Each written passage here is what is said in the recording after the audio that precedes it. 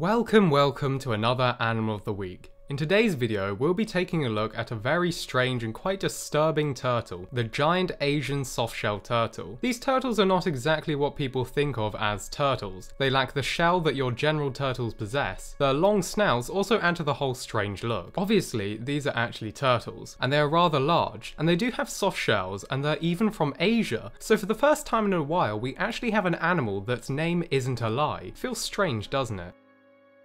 So, Asian softshell turtles, where in the world would they come from? Unsurprisingly, they come from Asia, but more specifically, they dwell in the deep jungles of the Malaysian Peninsula, Borneo, Bangladesh, and even the Philippines. They are freshwater turtles and therefore like fresh water, dwelling in swamps, wetlands, lakes, and large rivers. They are most commonly found in large, slow-flowing rivers, which creates problems for them in the modern world, where many large and calm rivers in Southeast Asia have become polluted and overcrowded by humans. They've also been seen in some coastal areas near the mouths of freshwater rivers and deltas. They'll stay away from the actual ocean. It would be rare to find one off the coast in saltwater sea, and if one was found like this, it probably wouldn't survive very long. Interestingly, this turtle is a vicious and intelligent ambush hunter. Doesn't really look it, does it? Its flat and soft body allows it to bury itself in the mud and silt at the bottom of rivers and lakes, with just its eyes and long snout visible. It can stay like this for hours and surfaces only two times per day in order to breathe, and then it will return to its state of ambush. When a crustacean, fish, or mollusk comes along, it will grab it and eat it and then wait, buried in the mud and silt for the next opportunity to eat. They are also known to feed upon marine vegetation if they need to, and they don't have to spend hours at a time lying in wait to ambush a plant, so we can offer a quick and easy meal for them.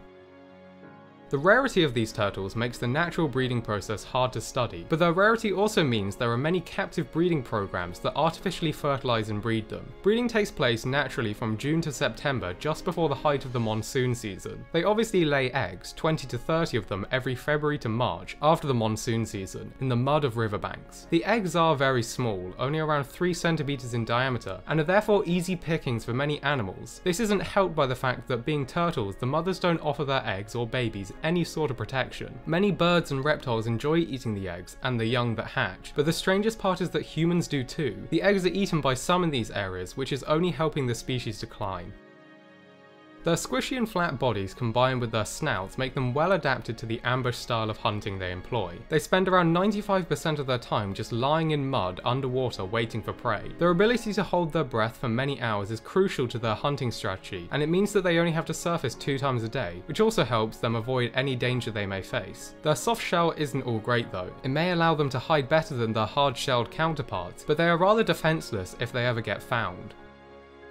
These turtles are under huge threat from humans. The IUCN classes them as threatened, but their numbers keep decreasing. There are many causes for this decline, from pollution in rivers to food sources disappearing to humans hunting and eating them for their eggs. All this has prompted a huge amount of effort to be put into their conservation, as it would be terrible to lose these truly bizarre creatures. One way this is being accomplished is through captive breeding. It's not fully captive breeding, it's more like captive adoption. If locals find their eggs, they are encouraged to bring them to centres where they will be looked after. The eggs eggs hatch in captivity, and then once they are old enough, the turtles are released into the wild. This massively increases their chances of survival, as they are protected when they are eggs, and in the vulnerable first few weeks when anything slightly bigger than them may decide on having a quick meal. Thank you for watching this video, I really hope you enjoyed it and learned something new. If you'd like to learn more about our world, its history, and the wonderful life that surrounds us all, please feel free to subscribe to the channel if you think we deserve it and if you'd like to see more from us.